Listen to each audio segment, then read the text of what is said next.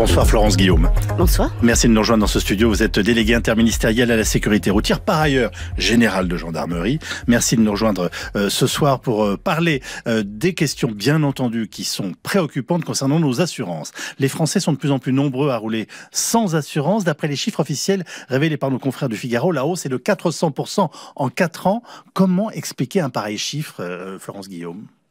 Alors, euh, en réalité, ce que disent les chiffres, c'est qu'ils sont davantage contrôlés et qu'en effet, le nombre de contrôles a fortement augmenté. On est passé. C'est-à-dire que ce sont eux les révélateurs de la situation. C'est également, c'est exactement ça. C'est les révélateurs de la situation avec euh, sans doute aussi un meilleur contrôle.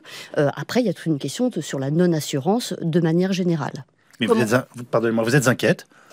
Alors c'est toujours, c'est toujours inquiétant parce que euh, par définition, les personnes qui roulent sans assurance, dès lors qu'ils ont un accident, ils se retrouvent dans une situation extrêmement compliquée s'ils occasionnent un accident mortel ou corporel. C'est-à-dire que certes, il y a le fonds de garantie des assurances obligatoires qui va indemniser euh, les éventuelles victimes. En revanche, le fonds de garantie va se retourner contre l'auteur et faute d'assurance, il va se retrouver à payer toute sa vie. Et comment expliquer qu'autant de gens roulent sans assurance? Alors déjà, euh, peut-être euh, revenir sur le facteur contrôle. Euh, on a deux modalités de contrôle qui ont évolué. La première, c'est le fait de pouvoir relever les infractions par une amende forfaitaire délictuelle depuis quelques années, qui a contribué à l'augmentation des contrôles et des verbalisations. Ça, c'est le premier point. Et deuxièmement, depuis le 1er avril dernier, les forces de l'ordre disposent d'un accès direct au fichier des véhicules non assurés, enfin, fichier des véhicules assurés en l'occurrence, qui permet de constater au-delà de la simple inspection visuelle du macaron euh, qu'on pouvait mettre auparavant sur, sur le pare-brise et qui n'est plus obligatoire aujourd'hui. Qui est vert Exactement, qui pouvait être euh, fraudé. En réalité, maintenant, avec ce contrôle, on a un contrôle avec un accès directement au fichier des assurances. Et c'est ce qui permet aussi euh, de visualiser davantage les assurances. Mais ça n'explique pas pourquoi autant de gens roulent sans assurance. ah, non, effectivement.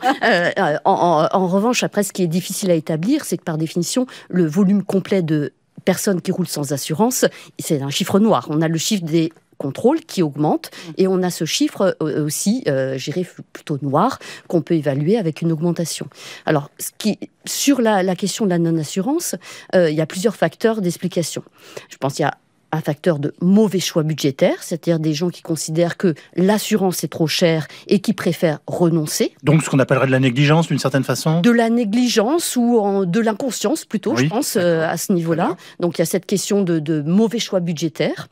Euh, il y a une question aussi d'incompréhension de ce qu'est l'assurance. Euh, l'assurance responsabilité civile, c'est pas, j'irais, le, le, fait d'être remboursé de son véhicule en cas d'accident, c'est bien par rapport aux dommages qu'on peut occasionner, donc un défaut sans doute euh, de, compréhension et, sans doute faut-il encore développer l'éducation assurantielle euh, en France.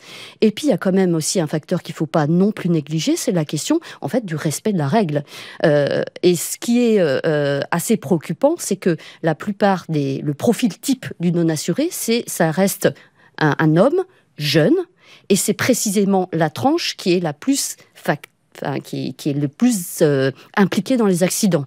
Donc on se retrouve avec des gens qui sont le plus assurés, qui sont en plus, en plus les catégories les plus à risque. Les, assurances sont-elles de plus en plus chères?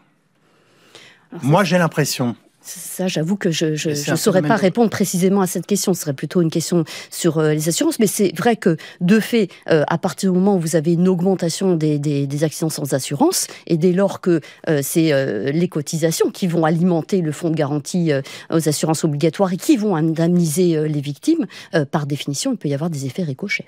Oui, c'est ce que vous dites. Hein. C'est vraiment. Euh, il faut expliquer et répéter à quel point euh, rouler sans être assuré est un, danger faramineux. On s'engage hein, pour, euh, pour toute la vie. Au-delà de l'accident, ce sont des charges financières. Vous le disiez, on peut se retrouver endetté à vie, à devoir indemniser ou tenter d'indemniser la victime en face. Si on blesse, si on tue une personne, c'est c'est incroyable. il faut vraiment avoir cette conscience-là euh, qu'en aucun cas c'est un mauvais choix budgétaire. C'est-à-dire que vraiment, si vous avez un accident, vous vous retrouvez dans une situation extrêmement délicate. Et encore une fois, moi je pense que ça pose au-delà de ça la question du rapport à la règle, euh, puisque malheureusement, comme je le soulignais, euh, le, la tranche des personnes les plus impliquées dans la non-assurance, c'est également euh, la tranche des personnes les plus à risque. Et d'ailleurs, on retrouve un chiffre quand même important de véhicules non assurés dans les accidents mortels de la circulation et encore plus dans les accidents mortels avec de l'alcool ou stupéfiant.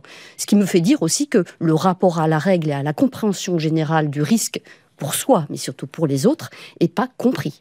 Euh, ou, pas, ou, ou dénier, tout simplement. Mais est-ce qu'il n'y a pas des moyens de rendre ça obligatoire? Alors, c'est obligatoire de fait, mais je veux dire, je sais pas, dès qu'on délivre une carte grise, dès que quelqu'un devient propriétaire d'un véhicule, alors ça n'empêchera pas quelqu'un qui monte dans le véhicule, de, voilà, mais d'obliger, euh, voilà, tout véhicule devant, devant être assuré avec des moyens de contrôle. Aujourd'hui, c'est avec l'informatique, c'est facile, non? Je, Avec les moyens informatiques, euh, comme je vous le disais, maintenant, on a les forces de l'ordre, on a un accès direct. Par ailleurs, quand vous achetez un véhicule, normalement, vous montrez que vous êtes, vous avez une assurance. Ben, d'après moi, oui. Après, la difficulté aussi, c'est que la modularité des assurances fait que vous pouvez très bien euh, prendre une assurance et l'arrêter. Donc, euh, la question aussi, et là, ce qui me fait dire que dans ces cas-là, dans cette hypothèse-là, on n'est pas sur quelqu'un qui n'a pas cette conscience. C'est quelqu'un qui, délibérément, à un moment, alors qu'il sait euh, qu'il doit être assuré, choisit de ne pas l'être.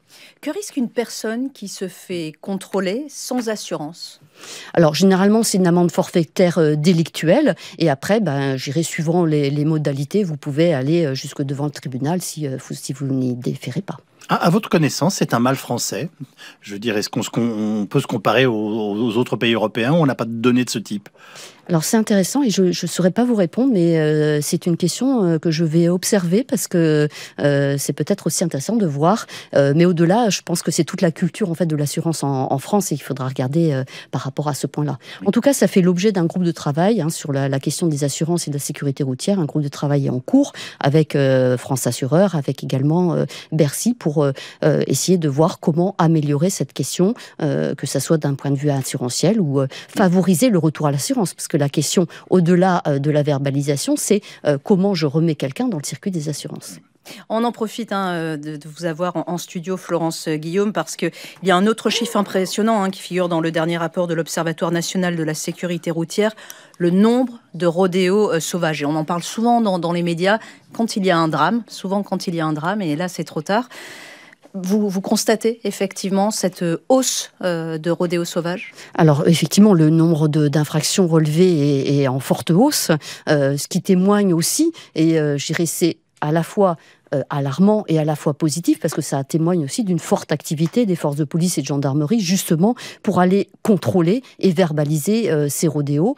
Euh, donc c'est, j'irais à la fois une, une, triste nouvelle parce que malheureusement les, les un accident dramatique d'ailleurs a rappelé à tout le monde et, je pense a choqué profondément les gens sur le risque qui peut être pris en faisant en ayant ce type de pratique.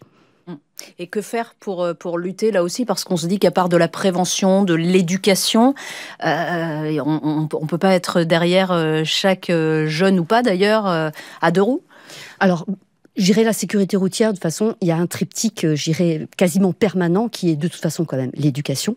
j'irai tout petit et jusque euh, tard, euh, la prévention. La prévention, c'est, euh, j'irais, qui doit être vraiment axée sur la perception du risque. C'est pas prévenir pour dire ça peut arriver, c'est comprendre en fait, j'irai par cette action ce que vous pouvez occasionner, faire prendre conscience du risque. Et après, le troisième, c'est évidemment le contrôle. Et le contrôle, euh, j'irais, euh, euh, qui peut être à la fois aussi un contrôle effectif ou qui peut être aussi le déploiement de, forces de sécurisation, j'irais dans les endroits où des, des, rodéos sont signalés. Et d'ailleurs, il y a une possibilité aussi de signaler ces rodéos sur l'application Ma Sécurité. Merci beaucoup pour toutes ces précisions générales, Florence Guillaume, déléguée, je le rappelle, interministérielle à la sécurité routière.